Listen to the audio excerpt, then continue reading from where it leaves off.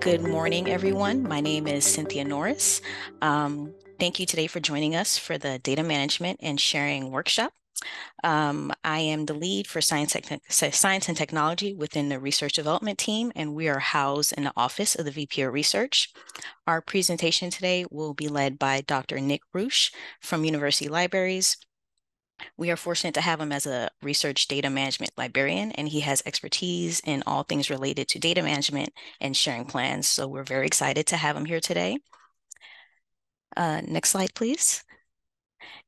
And just a shameless plug for my uh, the office that I'm within. Um, the research development team is a little different from other teams that you might be familiar with, such as sponsored research or IRB. But we are all are all within the same office. With the research development team, we are um, focused on supporting faculty with developing competitive um, grant proposals um, for funding their research. So with there being new uh, federal requirements to include data management plans um, within as a component of uh, grant proposals, this is definitely within our wheelhouse.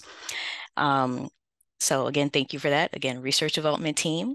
And for the workshop today, we have a larger group. So we ask that everyone just please put their questions in the chat. Um, and um, we'll get to them one by one. And we have set aside, set aside time for questions and answers. And again, thank you everyone for um, just providing questions beforehand, beforehand if you were able to. Um, those questions will also be uh, addressed throughout the presentation. Um, and today's workshop will be recorded and the PowerPoint will be shared on our on-demand learning page. And without any other delay, I will hand it over to Dr. Ruhs. All right, thank you, Cynthia, for that introduction, and good morning, everyone. Uh, thank you so much for joining this morning. Um, as Cynthia said, I am uh, Nick Ruhs. I'm the Research Data Management Librarian at FSU Libraries. Um, and today we are going to go over um, the data management um, guidelines, some general information, some resources for filling out your data management plans um, as you're thinking about uh, those for either your grant applications or how your lab or uh, center um, can sort of meet all of these guidelines that are coming out from the different funding agencies. Um, and as Cynthia said, um, thank you to those that submitted questions ahead of time. Um, some of those will be addressed as we go throughout the workshop. Um, some of them will be addressed towards the end, um, and we will have time for any Q&A from today's session um, at the end of the workshop.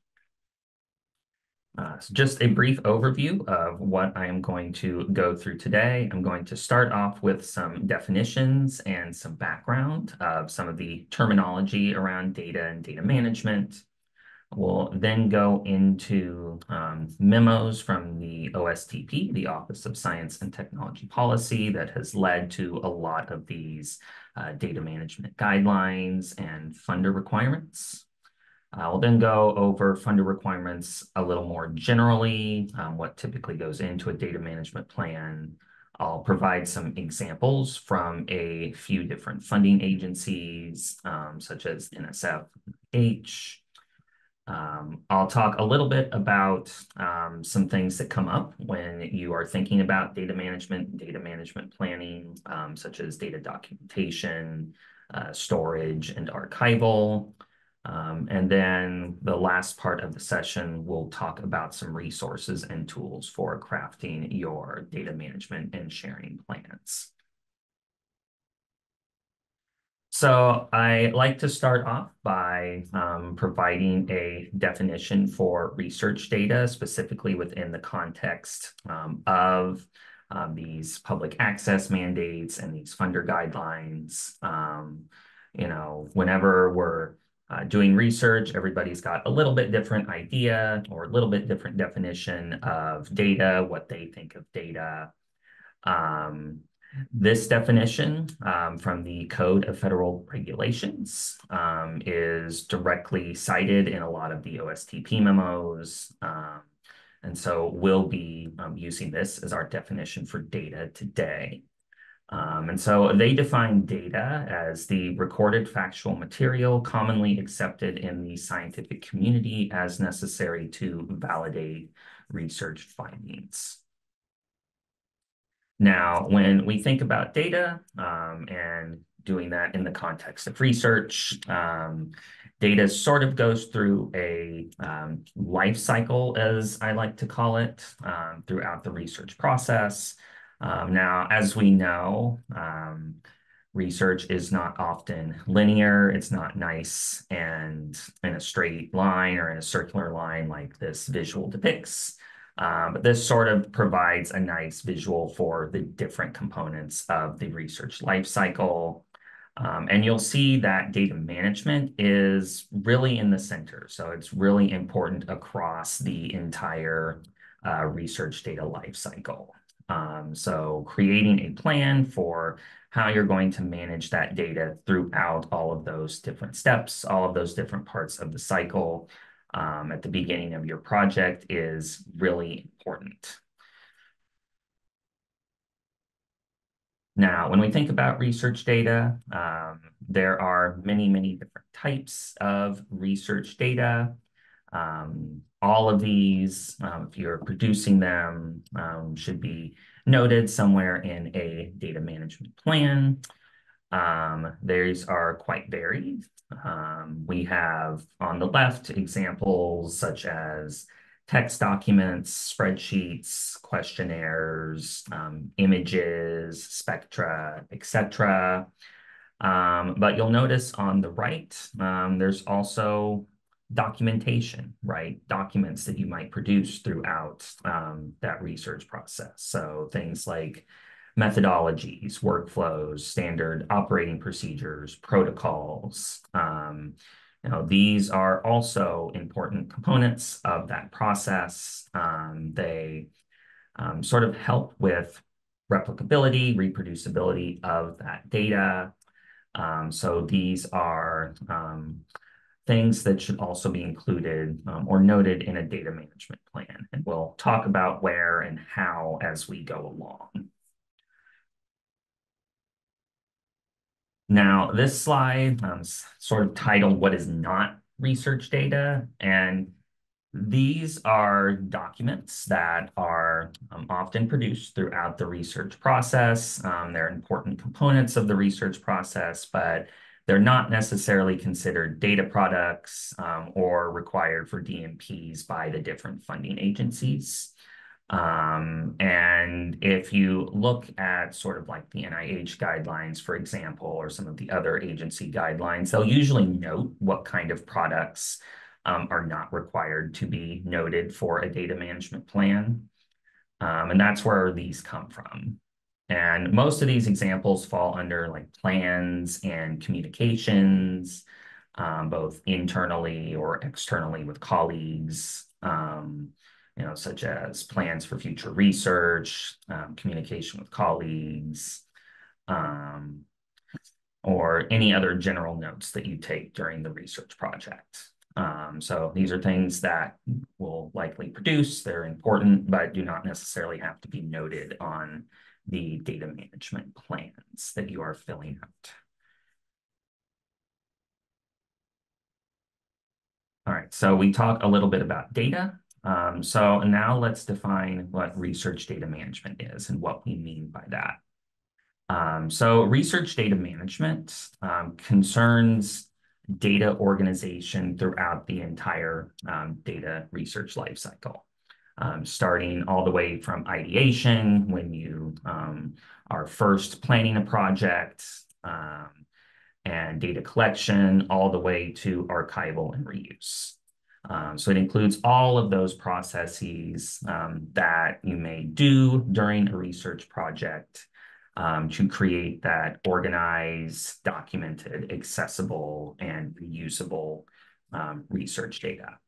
Um, and it ensures that the results of the scholarship are reproducible and verifiable by other future scholars in the field.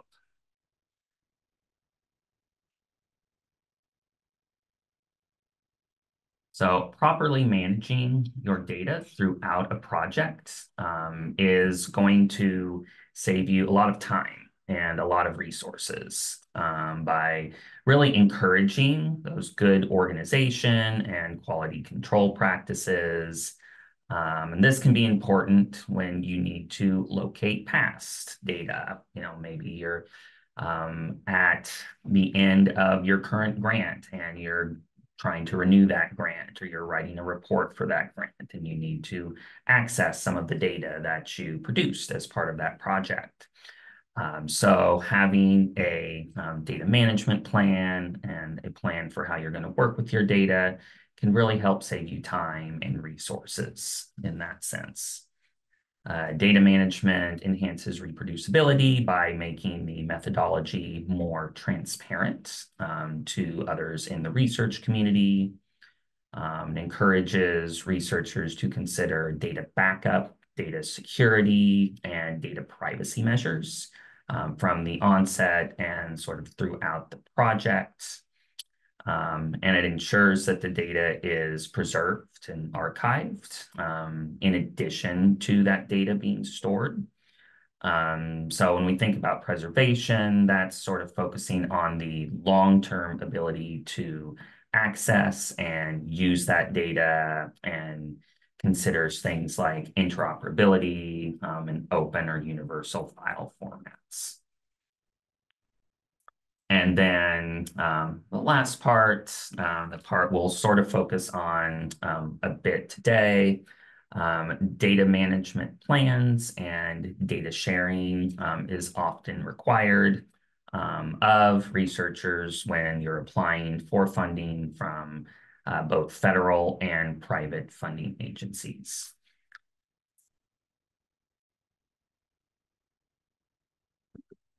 And that's sort of a nice segue into um, the next couple of slides. Um, so a lot of these data management and sharing guidelines um, stem from a couple of memos that have been released over the last decade or so um, by the Office of Science and Technology Policy, or OSTP. Uh, the first of those was released in 2013. Um, it's often referred to as um, the Holdren Memo, um, named after Eric Holdren, who was the director of OSTP at that time. And these requirements um, applied specifically to um, peer-reviewed publications and digital data that resulted from uh, federally funded research and it required all agencies that received over $100 million in annual um, R&D expenditures to develop guidelines to support increased public access to the results of research um, funded by the federal government. And this included or necessitated developing guidelines for um, research data management planning and all data, um, digitally formatted scientific data supported wholly or in part by federal funding um, needed to be stored um, in a way that it could be publicly accessible to search, retrieve, and analyze. Now, this memo um, was built upon in uh, 2022 with the release of another memo from OSTP. Um, this one is often known as the Nelson Memo um, by doc from Dr. Alondra Nelson, who was then the acting director of OSTP. And this advanced a lot of um, substantial and significant um, changes to the Holdren Memo, really sort of built on that. Um, so the updates in this were that now um, all federal funding agencies, not just those with that $100 million in annual R&D expenditures, um, are required to either create, if they don't have them already, um, or update plans that support um, public access to research. Um, it eliminates the 12-month embargo period for publications. Um, publications are to be made publicly available immediately upon publication. Um, and then in terms of data, um, in addition to the data associated with publications, um, requires the agencies to develop guidelines for sharing uh, federally funded research data that is not associated with a peer-reviewed publication. Um, so these guidelines um, are still being developed. Um, the agencies were given time to um, sort of develop the first draft, uh, their guidance, solicit feedback, um, and they are still going through that whole process. Um, so you may see um, this year and next year, you may see some of the agencies releasing new guidance or soliciting feedback on some of these guidelines. Um, the agencies are required to finalize and implement their updated plans by the end of 2025.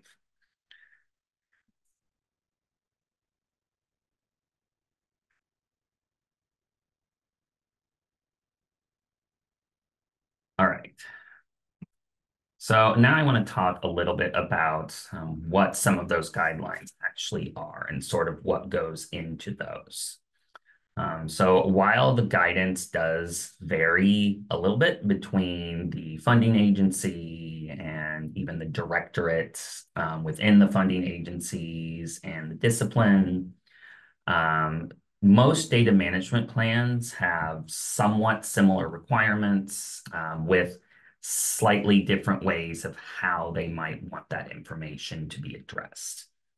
Um, so most data management plans are usually about two pages. Um, that can vary depending on the agency. Um, I do actually have an example in a few slides where that is not the case. Um, but in most cases, they're usually around two pages, um, part of that grant proposal, and they generally um, address um, things like um, where and how the data will be archived for later use, um, how the data will be shared in meeting those uh, data sharing guidelines, um, information on any sort of data privacy, copyright, or intellectual property concerns, this can be really important if you're working with sensitive data or data involving human subjects.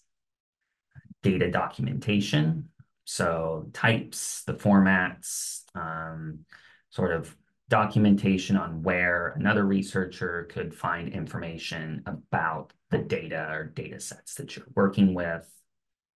Um, the data types um, and the file formats um, and then any sort of information on data security, um, data encryption, if that is necessary, um, and then how you are storing and backing up that data. So those are kind of general characteristics of most data management plans. Um, I'm now going to go into um, a couple of specific agencies um, and talk about their guidance in a little bit more detail. Uh, so the first is the uh, National Science Foundation. Um, so the National Science Foundation um, has released guidance and has actually updated their guidance fairly recently um, for preparing a data management and sharing plan. Um, and you can find more information on that at the link um, that's provided at the bottom. And we will provide uh, these slides and all of the links in here. So you'll be able to go back and kind of browse through some of this information later. Um, now, some NSF directorates um, do have additional guidance or more specific guidance tailored to their areas. Um, if you um, do research under the NSF, you'll know that there are many, many directorates, um, sort of depending on your discipline, um, research area. Um, and I don't have time to go through every single one of those. Um, but there are links to information from the different directorates. and I'm happy to answer questions on specific ones or follow up on that later on. Um, but most NSF DMPs um, typically will ask, um, unless they specify otherwise, um, for um, the information that's shown here on the slide. Um, so they'll ask for information on the types of data, uh, samples, physical collections, software, curriculum materials, or any other materials that are to be produced during the course of the research project. Um, they'll ask for the standards to be used for the data and the metadata or data documentation, um, ask for the format of that. Um, if there are cases where there aren't standards for that particular field or the existing standards aren't adequate for the research project. Um, this should be documented or noted in this section of the plan. Um, some disciplines are at different places in sort of developing these um, different standards for how they um, sort of document their data. Um, policies or plans for data access and sharing. Um, so how you plan to share this data, um, you know, once you have published or at the conclusion of the grant. Um, and then if there are any provisions in here for data privacy or confidentiality, um, intellectual property rights, um, et cetera, that would be included um, in this particular section. Um, and then policies and provisions for data reuse, redistribution, and the production of derivatives. Um, and then finally, plans for archiving data, samples, and other research products, and for preserving access to them. Um, so again, as I said, um, these are sort of the general guidelines. You'll see the directorates maybe go into a little bit more detail on what this means for these different specific sections and their specific areas. Uh, some of them might add a component or two, um, but this information is pretty standard across most of the NSF um, DMSPs.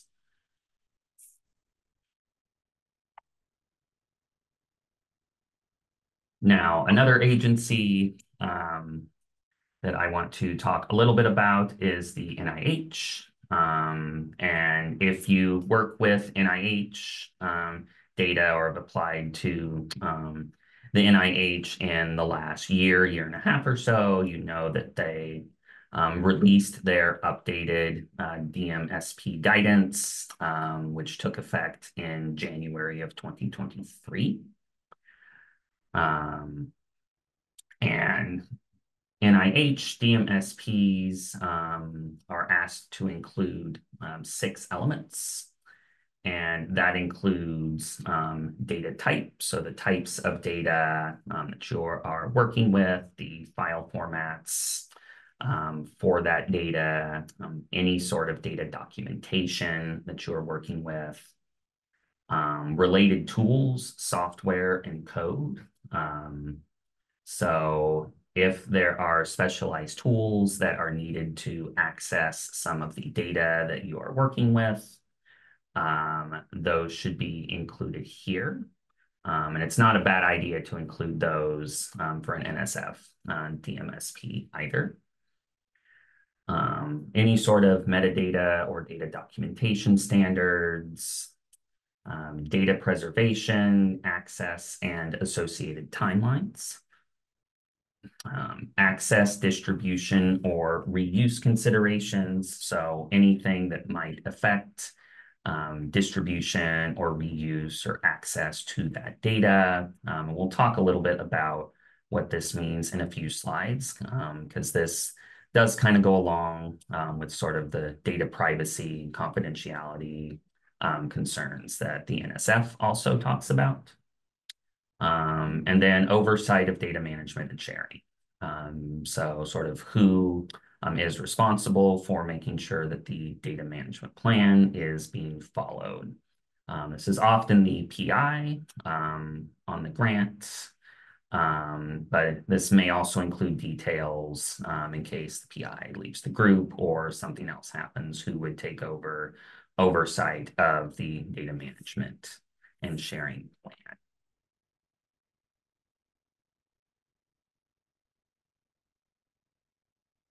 All right, one other agency that I do want to touch on, this was a question actually that came in before the workshop, um, was the um, IES or the Institute of Educational um, Sciences. Um, so this one has a little bit more information, or at least the information is sort of broken out into more sections, but most of it is the same. Um, and you'll note um, that they asked for their DMPs to be no more than five pages. Um, so their guidelines are a little different. Um, but again, they sort of ask for information on the type of data to be shared, um, privacy, confidentiality, um, sort of data formats. Um, they do ask about data sharing agreements. So if there are any data sharing agreements that are applicable for that data, um, to include information on that. Um, and then method of data sharing, format of the final data set. Um, so it's fairly similar information, just sort of broken out into um, more sections. And as I said, there are a lot of different agencies, a lot of different directorates. Um, we'll provide some links at the end um, and some resources for finding information on specific ones. Um, but those are just some kind of representative examples. And as you can sort of see, a lot of them have fairly similar information that they're looking for. Um, they may just package it or structure it in a little bit different way. Um, so I did want to touch briefly on um, FSU's data management policy. Um, so FSU as a university, um, has adopted a uh, research data management policy as well. Um, that took effect in 2016. So a couple years after that first OSTP memo, um, and this outlines the responsibilities of the university and the PI uh, related to uh, research data, um, along with um, things like ownership, uh, collection and retention, uh, data security, publication and access, um, etc.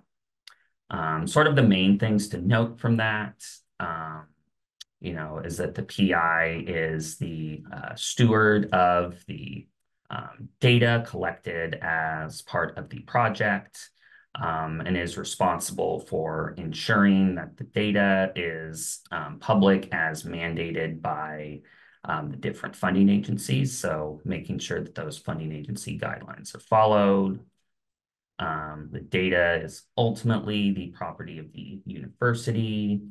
Um, although there are considerations as well for um, collaborations um, or work that's done as part of a consortium or folks outside the institution as well. Um, so I encourage you to take a look at that link. Um, it provides more information and the most current um, policy that's in effect.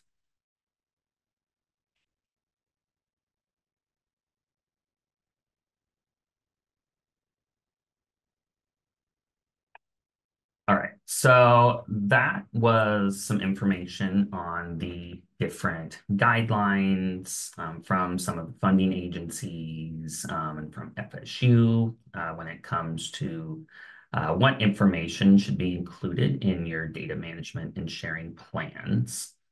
Um, now I want to talk a little bit about a few of the specific um, items that were included in those um, guidelines and sort of talk about um, what that means. Um, and the first one is uh, data documentation. Um, so you heard me mention data documentation and metadata a few times when we were talking through those guidelines. Um, so when we're talking about data documentation, um, this is descriptive information about a data set that explains its meaning and really enables other users to find, understand, um, and use that data.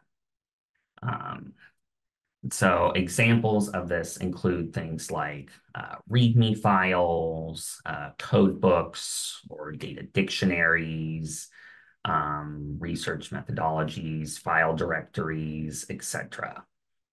Um, so these are really important when considering um, reproducibility and reusability um, of the data set, um, sort of enables researchers, um, other researchers to find information about the data you've produced, um, you know, and how that was produced, methodologies that have been used, etc.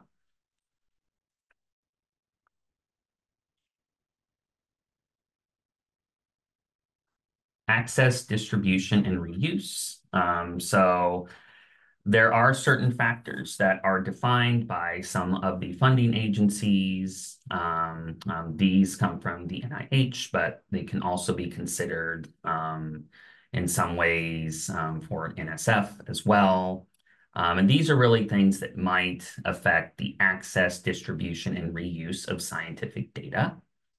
Um, and this includes things like informed consent, um, if there are any privacy and confidentiality protections um, consistent with any federal, tribal, state, or local laws or regulations.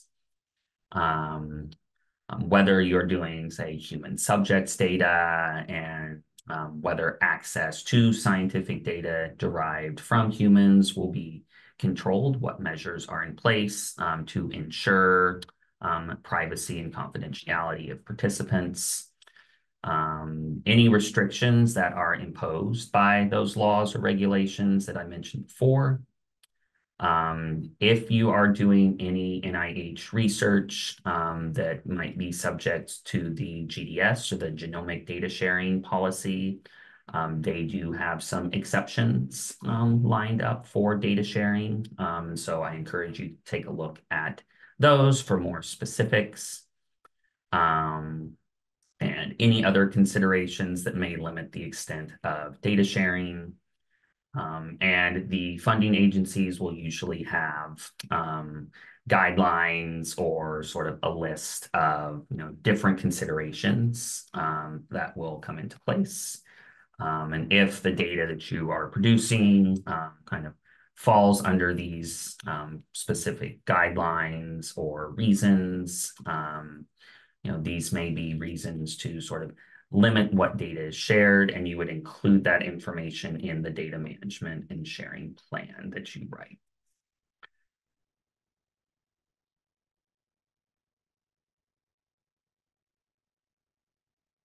All right, so the next thing I want to um, touch on are data repositories. So we talked about data sharing a little bit and sharing your data, um, you know, either when you um, publish um, an article or you're at the conclusion of your grant.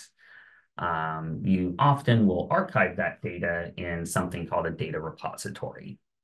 Um, so these repositories help archive and curate data um, in a way that sort of meets those different public access guidelines um, and also in a way that is fair. Um, so there's this FAIR acronym um, that stands for findable, accessible, interoperable, and reusable. Um, and essentially um, what this means is that the data and any sort of supplementary materials or documentation um, have sufficiently rich metadata. Um, they have unique or persistent identifiers. Um, the metadata and the data is understandable to humans and to machines. Um, it's deposited in a trusted repository. Um, the metadata uses a sort of formal, um, broadly applicable language um, for knowledge representation. Um, and then data has sort of clear usage guidelines um, and provides, you know, any sort of accurate information on provenance. Um, so that's sort of what it means to um, deposit your data in a way that's fair, and these repositories sort of facilitate. Um, there are several types of data repositories that may be appropriate. Uh, depends a lot on the research project, the type of data that you're working with, how much data that you're working with. Um, but um, some of the most common ones uh, are uh, discipline-specific, generalist, or institutional repositories. Um, so discipline-specific, um, kind of what it sounds like. These are repositories that are um, sort of designed to um, archive and make publicly available research from a particular discipline or research area. Um, so these are often um, community developed, um, and you'll find them for many, many different research areas. Um, there's a really good site um, to sort of find more information um, on discipline-specific repositories. Um, this is called Re3 Data or the Registry of Research Data Repositories.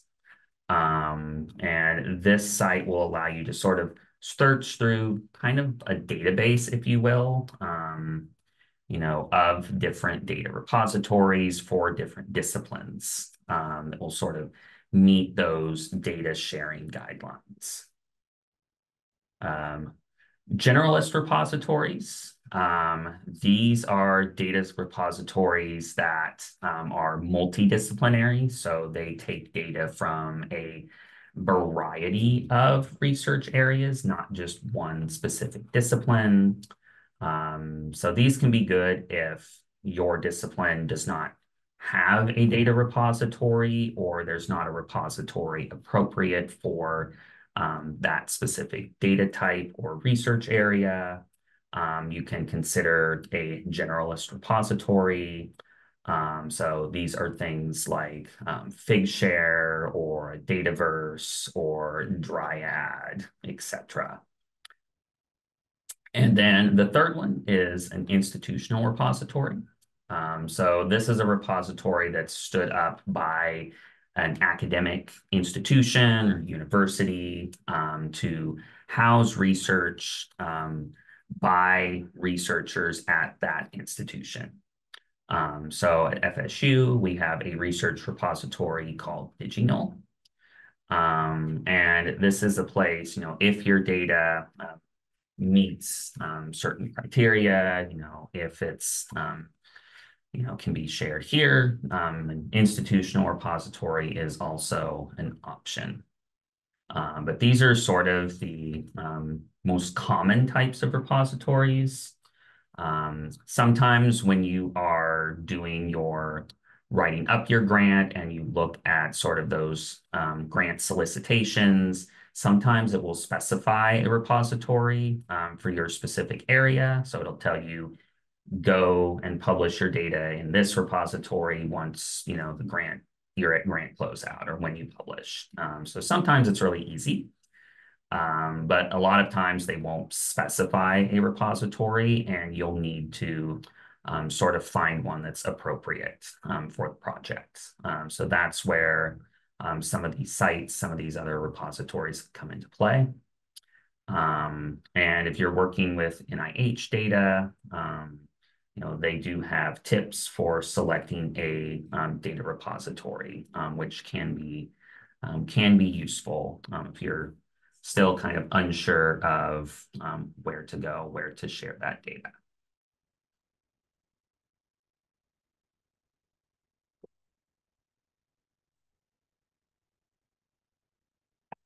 All right, um, data storage and backup. Um, so it is really important to um, sort of back up your data regularly over the course of a project um, to um, prevent data loss um, from any sort of accidents that might happen. As we all know, technology is going to have fits, right? No matter what we do. Um, so it's really important to have backup plans and to store that data in um, several different locations, kind of come up with a plan for how you're going to monitor that data, um, you know, and really do this before you collect any data, ideally, um, really at the beginning of the project. Um, a general rule of thumb is um, the 321 rule. Um, so keep three copies um, of your data files um, in at least two different locations, um, with at least one of those copies being offsite. Um, we say two different locations um, just because something could happen at a specific location. so if you have your data um, housed on like a lab computer and you know another device um, within the same building. If something happens to that um, building, um, both of those locations, um, you may lose the data from there. Um, so that's why we say at least two different locations. And ideally one being offsite or maybe in cloud storage, etc. Um, you'll want to back up often. Um, set a schedule that works for you, works for your research group, um, and sort of follow through with it. Um, there's no like hard and fast to this. It really depends on how much data that you're working with, how much that you're producing, um, you know, how often that data is being updated or you're generating new data sets. Um, but really sort of figure out a schedule that works for you, works for your group, um, make sure everyone knows what that is, um, and then follows that.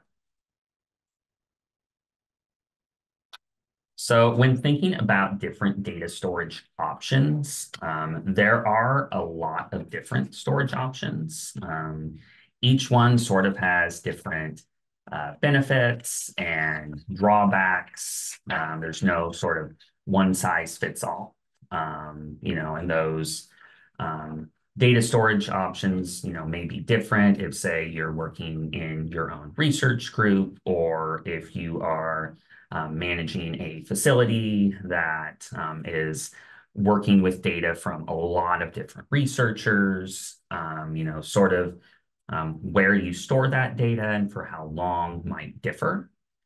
Um, so there are some things, though, when you are um, storing data that you will want to consider.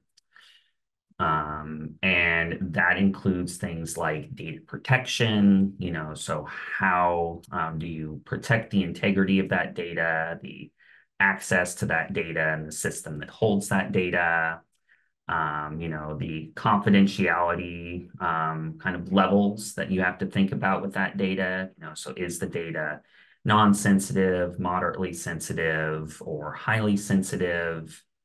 Um, the ease of access, you know, how important is it to be able to easily access that data? Um, collaborators, you know, do other researchers need to be able to access or archive that data? Um, you know, are they at your home institution? Are they at another institution? Um, how much data are you working with? You know, are you working with, you know, five megabytes or are you working with five terabytes, right? You know, so how much data are you working with? Um, does all of it need to be immediately accessible or can some of it be archived in a place that maybe isn't as accessible, um, you know, that you can look at later on? Um, so um, these are sort of some considerations. Um, you know, and then often a lot of the storage options, you know, are sort of divided into things like networked options, cloud options, desktop options. Um, so really sort of thinking what works um, best for you and your particular research group.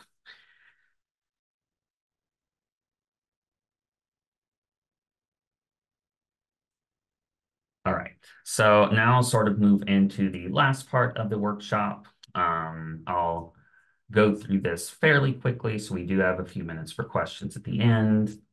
Um, so one resource that is really great for working um, on DMPs, building DMPs, is something called the DMP tool or data management plan tool. Um, this was a resource developed in response um, to these initial uh, mandates and OSTP memo from 2013. Um, it's maintained by the California Digital Library um, with data librarians and other experts contributing expertise and time uh, to make sure those resources are updated and current. Um, the great thing about it is that it provides templates um, that you can use to craft a data management. Um, and those templates are designed around guidance from the different funding agencies and provide links to um, agency resources or sometimes institutional resources um, that um, researchers can reference when creating plans. Um, FSU is a member institution of the DMP tool. Um, so anybody at FSU um, can create and save um, a plan, um, sort of update and invite collaborators. and plans can also be, plans developed by the tool can also be connected with an ORCID using their DMP ID system.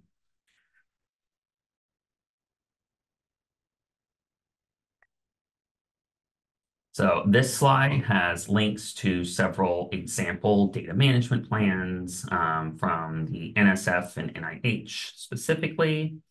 Um, if you go to the DMP tool, um, you'll see sort of at the top of the page, they have um, something called their public plans page, um, which is where plans that other researchers have written. Um, some of those have been made publicly available by the different DMP tool users. Um, some of them are also featured um, or ones that have sort of been selected by um, other data experts or DMP tool folks um, as sort of exemplar plans or examples that you can look at.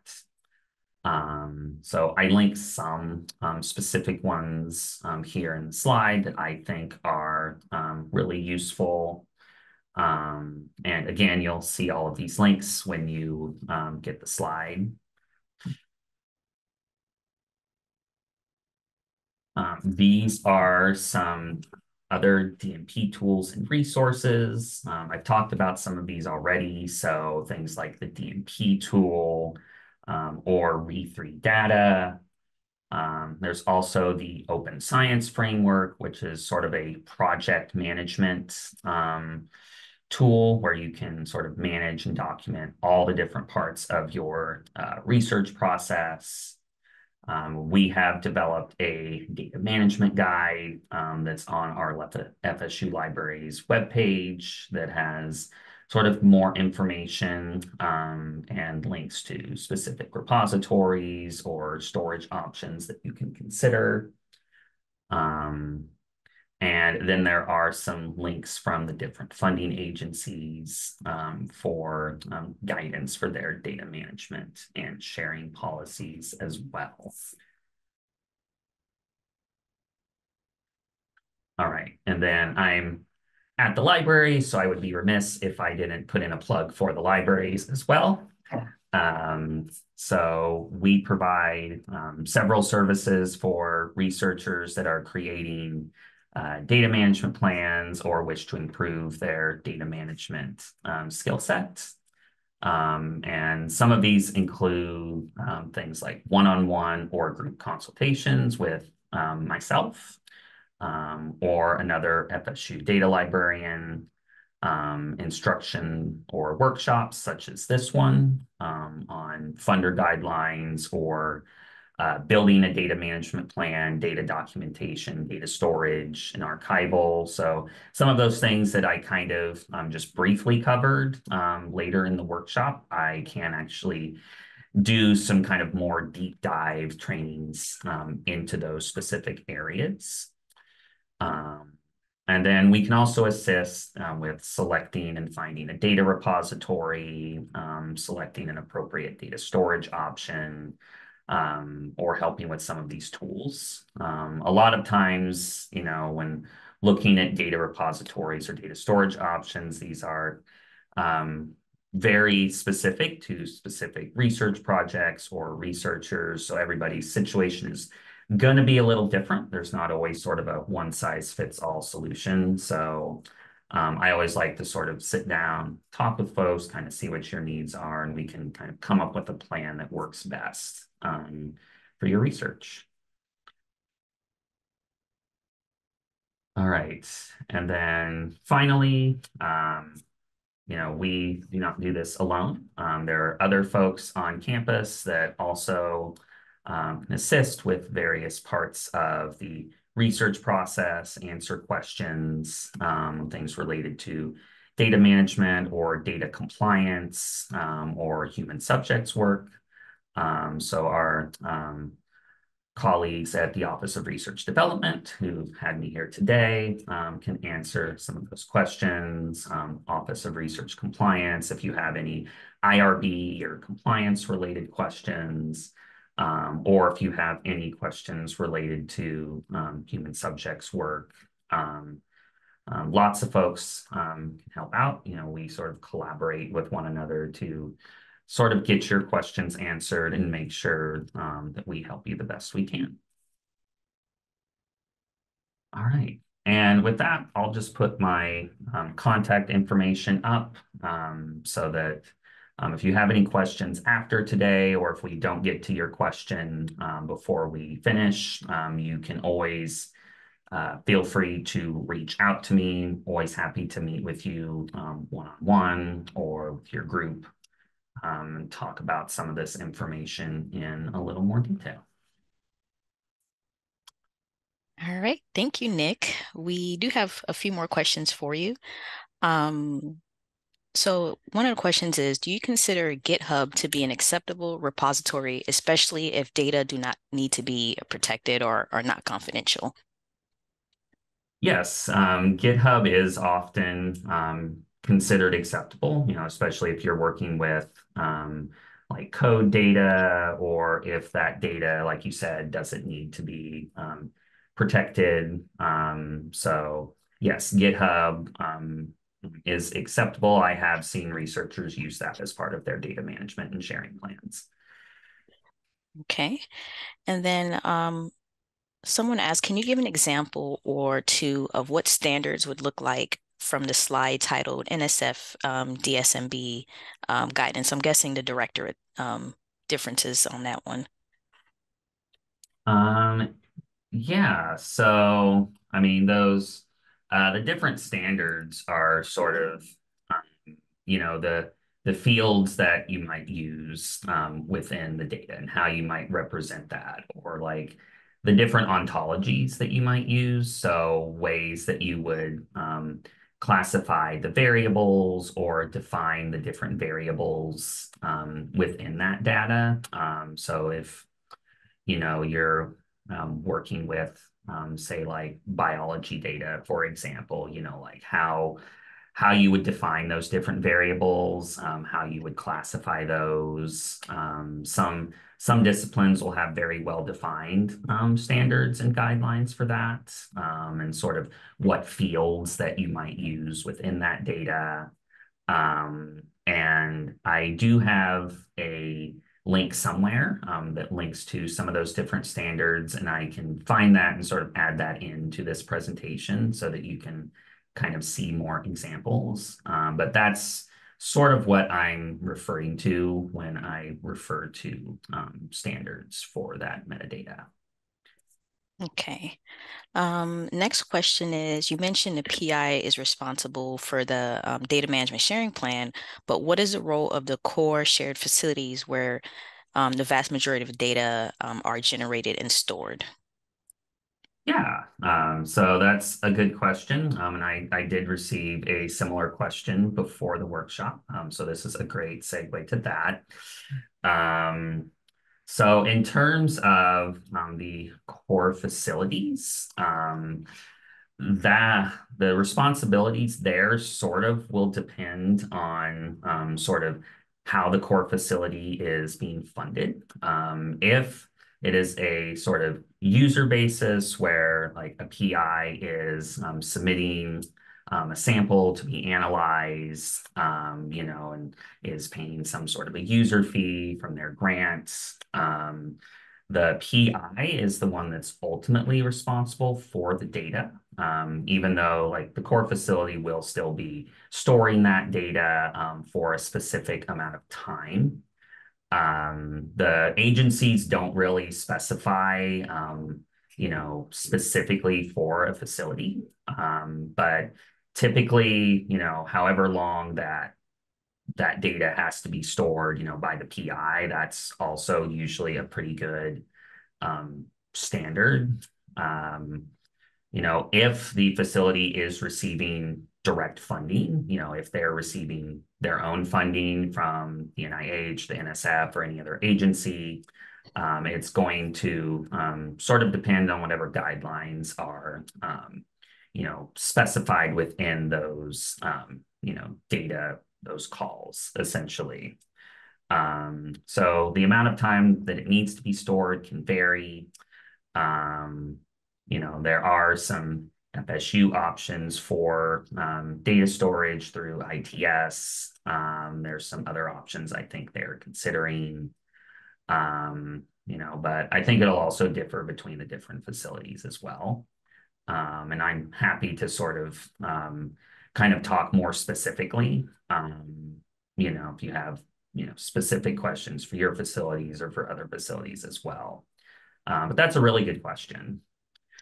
And just to add to that, um, so with like so, so example for NSF, um, I looked at their PAPPG and the lead organization is required to uh, submit a data management sharing plans, but the non-lead organization is not. Um, but even with that, you still want to consider how involved are you in the data management collection process. That just might be something that you um, kind of, you know, flesh out when you first start um, collaborating with somebody. All right. And I think we have time for one more question. Um, let's see. It says, what are the NIH guidelines for sharing qualitative data such as transcripts of in-depth interviews and focus groups, especially for sensitive topics?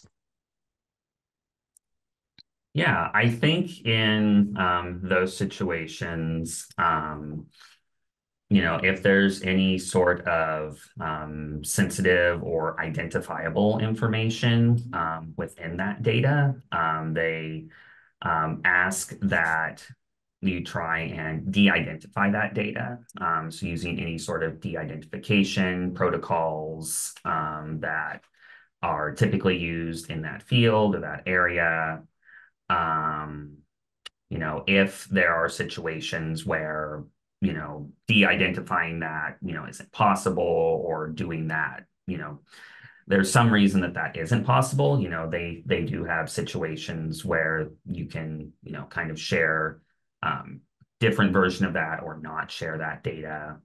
Um, but um, sort of, um, I'm not sure if they um, go into super specifics on that, but I do know they talk a lot about like sort of um, qualitative data or data, you know, where there are, are identifiers or um, anything that might sort of identify the participants. So definitely de-identifying that data um, is something um, that they ask. Um, so you would not want to share sort of the raw data in that instance.